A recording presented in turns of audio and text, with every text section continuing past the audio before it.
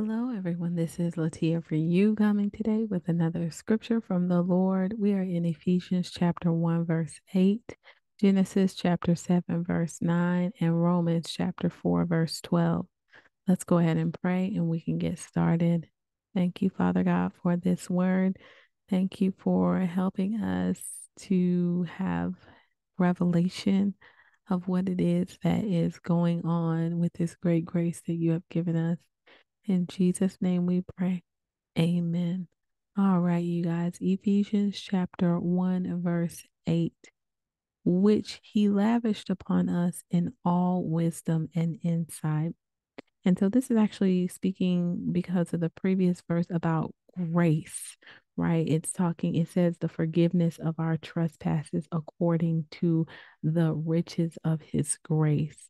And so we know that our forgiveness was not based on us, right? It was based on the complete um, grace that was poured out over us, so richly lavished upon us, um, and done in its fullness by Christ Jesus to pay for all sins, past, present, and future sins, right? And so it was lavishly and richly poured out on us.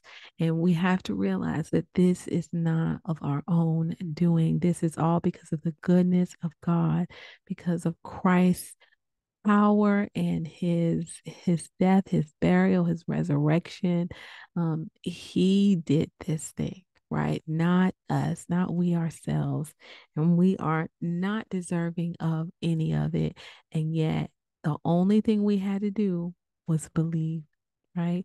And and that causes us to receive that beautiful redemptive new covenant package right it's it's all everything that we could ever need both here and in all the way into eternity and so this was a grace given to us by Christ Jesus, and we can have eternal life because of it, righteousness because of it. Amen. All right. And so it says, which he lavished upon us in all wisdom and insight. I was reading a commentary and it was saying, I thought it was just so beautifully put. He didn't give us just enough grace right? He gave us more than enough grace, right? And and that is a part of the forgiveness of our trespasses according to the riches of his grace.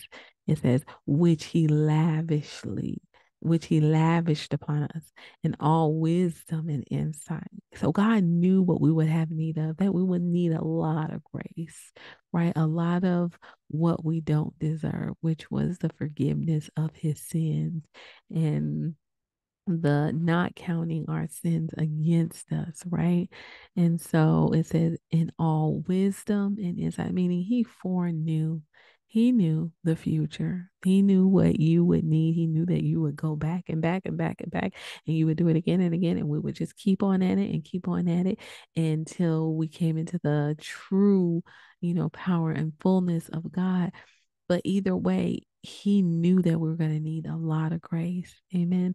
And you, if you know your thoughts, if you've ever just analyzed your thoughts, you realize that you need a lot of grace, right? Everybody needs a lot of grace.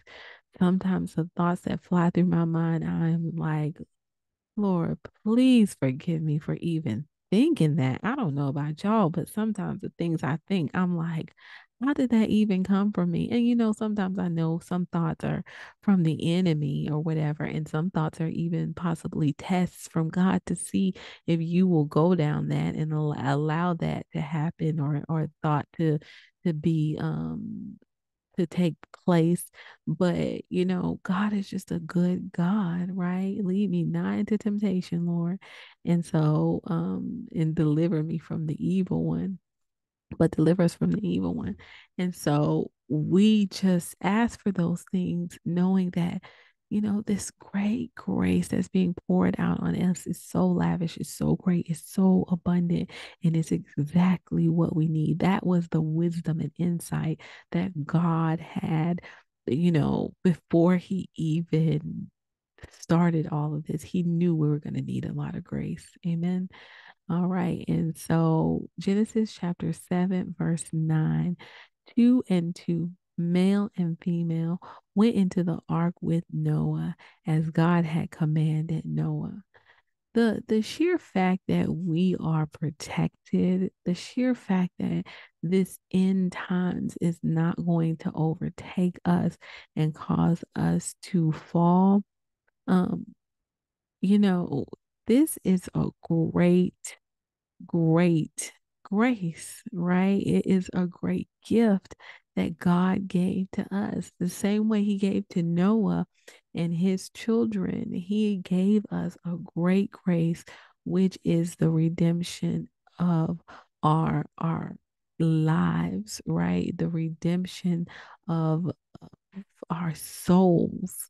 Um, he calls us not to have to go through that wrath, but instead to follow him and to to walk under this great covering of grace, right? And so um, it says two and two, male and female, went into the ark with Noah as God had commanded Noah.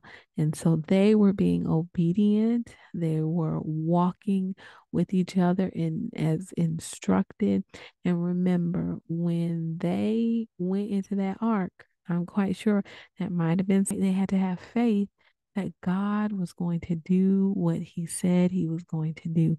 For those seven days they waited and so God had insight, right? He had insight to the amount of grace he was going to have to give for them, right? He didn't say, oh, well, you know what? Come out of the ark. he didn't say, oh, you think it stinks in here? You know, because that's how we do as humans. When we are helping someone, we always, you know, how we are. Oh, you better be grateful, right? But no, God knows that we have need of grace and he knows that we have need of mercy. He knows our thoughts and and he knows our heart right? And god knows that if you think it a, a, certain way in your heart it's just like committing the offense right? And so we you know god has been good because some of us have you know we've thought some crazy stuff right? And so we need to be grateful to god that he has provided such a lavish grace and so it says two and two male and female went into the ark with Noah as God had commanded Noah. All right. And so Romans chapter 4, verse 12, and to make him the father of the circumcised who are not merely circumcised, but who also walk in the footsteps of faith that our father Abraham had before he was circumcised. And so let me just say this one last thing about Noah. You know, it says two and two male and female went into the ark with Noah as God had commanded Noah. So I'm sure the the the animals were under a mandate, right? So they knew probably to come on and get on the ark, right? But as far as his wife and his children were concerned, you know, they had to submit themselves to Noah too. Those many years, I want to say it was like 12 years, I can't exactly remember. 12 years of building the ark, they had to submit right to Noah and and just imagine you know Noah had to to wrangle everybody because he, God was commanding Noah right not not um the sons he was commanding Noah so Noah had to get himself in alignment and he had to to walk forward in the things of God and he had to get his family to submit to all these things for all these years too right? So that took faith. That took faith. That took believing and trusting in the word that was spoken and standing firm in faith. Amen. All right, Romans chapter 4, verse 12. And to make him the father of the circumcised who are not merely circumcised, but who also walk in the footsteps of the faith that our father Abraham had before he was circumcised. All right, so Abraham was a father of um faith, right? He was he it wasn't about the circumcision that set him apart or made him um righteous. It was totally his belief in God that was accounted to him as righteousness. It says to make him the father of the circumcised who are not merely circumcised. So it's, it's not just about that action, right? That action is an outward reflection of something that's already happened on the inside, right? Just like with our faith and our works our faith, we have our faith, we believe, but eventually you're going to see the works, but it's not the works that saved. It's not the works that um provided the righteousness. It is all the belief that did that, right? It says, and to make him the father of the circumcised, not who are not merely circumcised, but who also walk in the footsteps of the faith that our father Abraham had before he was circumcised. All right. And so he had that faith before he ever committed to circumcision. He had the faith in God. That was what was accounted to him as righteousness. And so we have to walk in that righteousness, just like um uh, Noah and his children had to believe God, right? It, it it had to they had to have that in their heart. They had to go forth in faith, right? And so when we believe, right, we are able to be lavished upon by this great grace and and it is a beautiful thing because we don't deserve it right? It is not something that we deserve. It is not something that god is saying oh you did this right so therefore i'm going to no no. Christ did this of his own free will even while we were yet sinners, he died. While people were spitting in his face and ripping out his beard, um, he died. He chose that life, right? And so we have to stand firm in faith. We have to be patient as we wait. We have to realize that there is a great grace over us in the protection from this wrath that is about to be poured out. Amen. All right, you guys, let's pray. Thank you, Father God, for this word. Thank you that faith without works is dead, and you are showing us how to have the works too.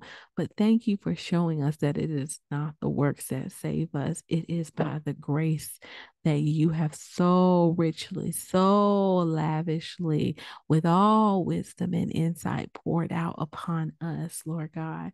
We love you, we praise you, we thank you for such great grace.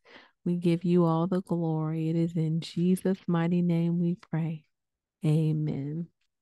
All right, you guys, if there is anybody out there who would like to receive Jesus as your Savior and Lord, go ahead and pray this prayer with me. But more than anything, believe it with all your heart as you confess it with your mouth. Dear Lord Jesus, I ask you to come into my heart. I make you my Lord and Savior. Jesus, I believe you died on the cross and I believe you rose again on the third day so that I could be saved. Thank you, Father God, for doing this for me. In Jesus' mighty name I pray. Amen. All right, you guys, if there if you pray that prayer and you believe that prayer, Holy Spirit has come into you and sealed you until the day of redemption. And no one can break that seal except Christ Jesus when he comes to redeem his church. The Holy Spirit is in you to lead you and guide you into all truth, and He's going to do just that. Amen. Um, one of the things that Christ wanted us to do and not forsake was the fellowshipping of ourselves one to another.